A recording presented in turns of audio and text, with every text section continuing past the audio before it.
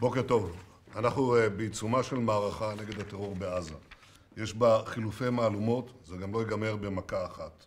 הדרישה שלנו ברורה, הפסקת אש מוחלטת. לא נסתפק בפחות מזה.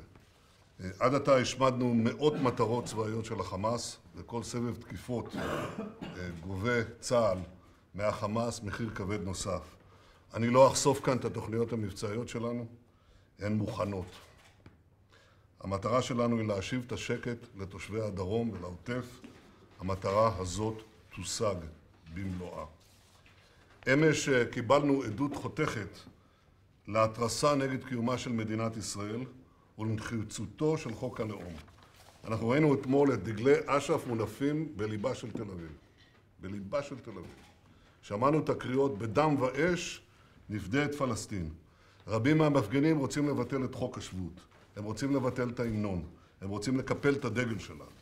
הם רוצים לבטל את ישראל כמדינת הלאום של העם היהודי ולהפוך אותה, כחלק מדברי, דוב, כפי שדובריהם אומרים, למדינה ישראלית פלסטינית. ואחרים אומרים מדינת כל אזרחיה. בדיוק לשם כך העברנו את חוק הלאום. אנחנו גאים במדינה שלנו, אנחנו גאים בדגל שלנו, אנחנו גאים בהמנון שלנו. ישראל היא מדינה יהודית ודמוקרטית. זכויות הפרט של אזרחיה מעוגנות היטב בחוקי יסוד ובחוקים אחרים. עכשיו ברור מתמיד שצריך גם את חוק הלאום. צריך אותו כדי להבטיח את עתידה של מדינת ישראל כמדינת הלאום של העם היהודי. אנחנו העברנו את החוק הזה, אנחנו נשמור על החוק.